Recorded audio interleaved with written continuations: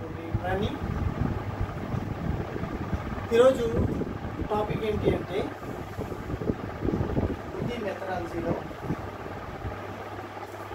మూల్యాంకనం. హిందీ మెథడాలజీలో మూల్యాంకనం గురించి మాట్లాడుకునేటప్పుడు ఈ మూల్యాంకన్ అనేది మనకి ప్రాచీన కాలం అంటే మన విద్యా వ్యవస్థలో మూల్యాంకనం గురించి దీని గురించి ఐతిహాసిక పృష్ఠభూమి తీసుకున్నట్లయితే ప్రాచీన కాలంలో ఎవరైనా విద్యని అభ్యసించాలి అంటే ఆ విద్యార్థి యొక్క విద్య ప్రాప్తి గురించి విశ్వవిద్యాలయంలో చేరేటప్పుడు ఆ ద్వార్ పండిత్ ఎవరైతే ఉంటారో మౌఖికంగా తన ఎగ్జామ్ ఎగ్జామినేషన్ తీసుకోవడానికి రెండు పద్ధతులను అవలంబించారు. ఒకటి సార్వజనిక మంచి పద్ భాషంగన శాస్త్రాలు శాస్త్రాలపైన ఎంత గ్రిప్ ఉంది?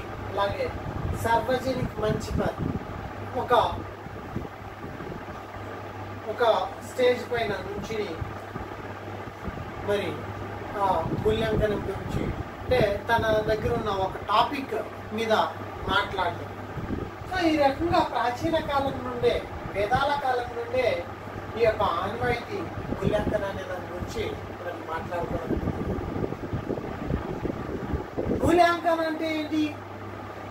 మూల్యకో ఆంకనం. విద్యార్థికి మూల్యకో ఆంకనం. అదే మూల్యాంకనం. అర్థం చూసినట్లయితే ఏదైనా ఒక విషయం యొక్క మూల్యాన్ని వెరిఫై చేయడం ఎంతవరకు సక్సెస్ అయింది అనే దాని గురించి మాట్లాడు మరి మూల్యాంకన యొక్క ముఖ్యమైన ప్రయోజనాలు కావచ్చు లేదా మూల్యాంకనకే ఉద్దేశం కావచ్చు. ఈ మూల్యాంకనకే ఉద్దేశం చూసినట్లయితే ఫస్ట్ శిక్షాకి ఉద్దేశంకి ప్రాప్తి. మూల్యాంకనం ఎందుకు చేస్తారు? శిక్ష యొక్క ఉద్దేశాలు అనేవి సాధించబడుతున్నాయా?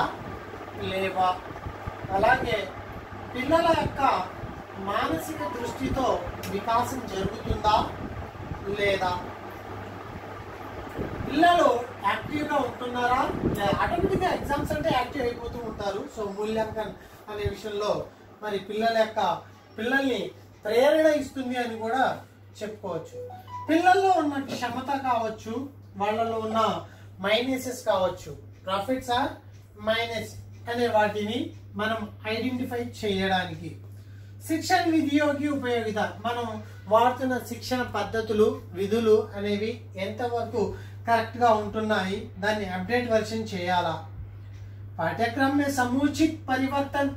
సిలబస్లో చేంజెస్ అనేవి వస్తూ ఉంటాయి రావాలి. వాటి పైన మరి మూల్యాంకన అనే దాని గురించి అయితే ఈ మూల్యాంకన యొక్క ఉద్దేశం సంబంధించిన పాయింట్స్ అన్నీ కూడా పర్ఫెక్ట్గా మనము कंपलसरी नोट మీదకి వచ్చేసి ఉండాలి मानसिक दृष्टि से बालक का विकास करना शिक्षा के उद्देश्यों की पूर्ति करना छात्रों को प्रेरित करने के लिए छात्रों में क्षमता एवं सीमाओं को पता लगाने के लिए शिक्षण विधियों को उपयोगिता कहाँ तक है उसके जानकारी पाने के लिए पाठ्यक्रम में समुचित परिवर्तन लाने के लिए छात्रों में వర్గీకరణ ఉన్నతి డెవలప్మెంట్ పిల్లల్లో డెవలప్మెంట్ తీసుకురావడానికి మరి ఈ మూల్యాంకన్ యొక్క ముఖ్య ఉద్దేశాలు అయితే ఈ మూల్యాంకన్ మరి ఈ రోజుల్లో మనం దేన్ని బేస్ చేసుకుని తీసుకుంటున్నాము అంటే ఈ ఎగ్జామ్స్ ని బేస్ చేసుకుని తీసుకోవడం అనేది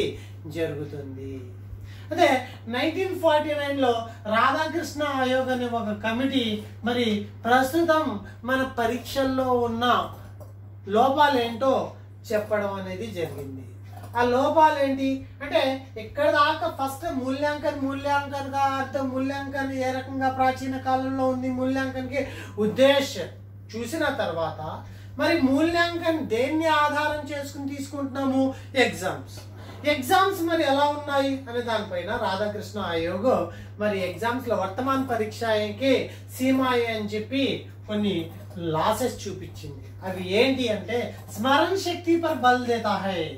వర్తమాన పరీక్ష కేవలం స్మరణ శక్తి పైన బలాన్ని ఇవ్వడం స- ఒక సాధనం కాకుండా అదే సాధ్యం అదే టోటల్ సర్వస్వం అయిపోయింది. ఈ రోజుల్లో జ్ఞానాన్ని ఎందుకు పొందు పొందుతున్నారా? అంటే కేవలం పరీక్షల్లో పాస్ అవ్వడానికి. అంతేకాకుండా ఎగ్జామ్స్ దగ్గరకు వస్తున్నాయి అంటే పిల్లల యొక్క మనోభావాలు అలాగే స్వాస్థ యొక్క మోరల్ వాల్యూస్ తగ్గిపోవడం కాపీయింగ్కి మాస్ కాపీయింగ్కి అలవాటు పడిపోవడం అలాగే వాళ్ళ యొక్క ఆరోగ్యం పైన రాత్రి పగళ్ళు చదివేయడం. సో ఇలాగ ఆరోగ్యం పైన ప్రభావం చూపించడం అనేది జరుగుతుంది అని చెప్పి nineteen forty nine Radhakrishna Aayog అనే ఒక సమితి ఈ వర్తమాన్ పరీక్ష యొక్క సీమాని ప్రజెంట్ చేయడం అనేది జరిగింది. సో ఈ సీమా ఏం- ఇలా ఉన్నాయి మరి ఇంకా ఏం జరగాలి అంటే ఎలా ఉండాలి అని చెప్పి చెప్పింది మరి అదే కమిటీ.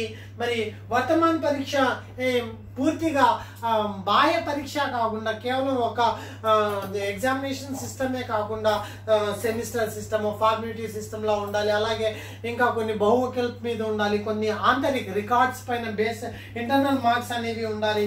సో ఈ రకంగా ప్రశ్న క్వశ్చన్స్ కరెక్ట్గా రిలేటివ్ టు టాపిక్ మీద ఉండాలి అని చెప్పి కొన్ని ప్రికాషన్స్ ఇవ్వడం అనేది జరిగింది. సో ఇక్కడికి మీరు మరి ఈ టాపిక్ని మనం ఏం చేద్దాము ఇక్కడికి తోటి.